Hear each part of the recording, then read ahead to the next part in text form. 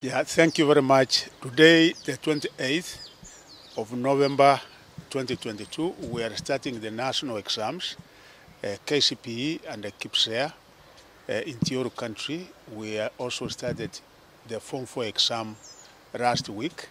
Today, they are only doing home science.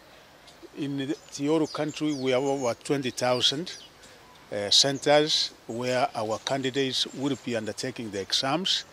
The total number of candidates we have in Tioru country is 3,416, 3,416 and 48.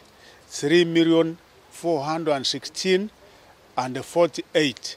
And categorized in each and every category, uh, we have 1 million 287 597 who will be sitting their Kenya primary school assessment and we also have uh, 1 million 244 188 will be sitting their Kenya certificate of primary education as well we have 884,263 who will be sitting their Kenya certificate of secondary education this year.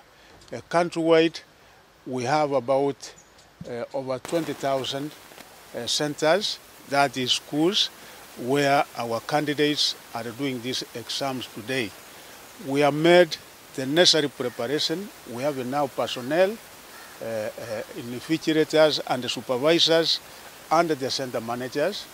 And uh, the center managers, supervisors, and the invigilators were taken through a process where each and every one of them was made to understand what he or, she is supposed to do this day. Uh, so uh, uh, they are properly, properly prepared.